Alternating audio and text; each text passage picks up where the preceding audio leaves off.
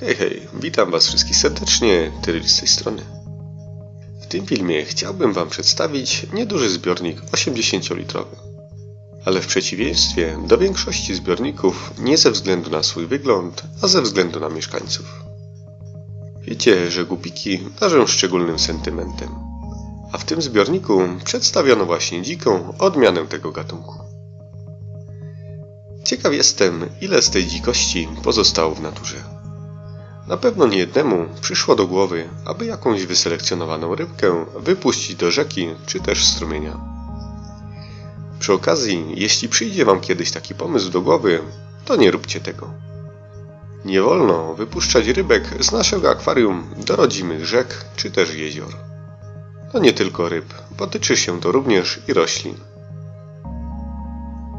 Nie wolno tego robić, bo rybki oraz rośliny z innych rejonów wypuszczone u nas mogą się tak dobrze zadomowić, że będą wybierać nasze rodzime gatunki.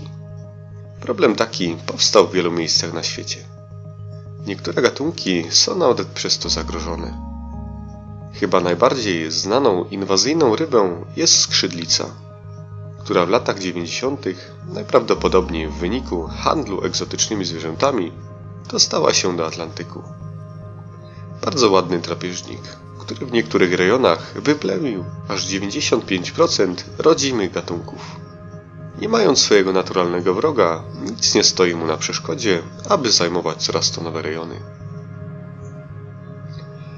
Ale wróćmy do tematu naszego dzisiejszego filmu, bo troszeczkę odbiegłem.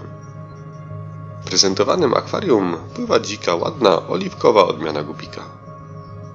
Pamiętam, że jak byłem jeszcze dzieckiem w latach 90., można było dostać takie w sklepach. Podobne zresztą pływały i w zbiornikach mojego taty. Mnożyły się jak szalone. Nic nie chorowały, a samiczka wielokrotnie, bez żadnych problemów, potrafiła się okocić.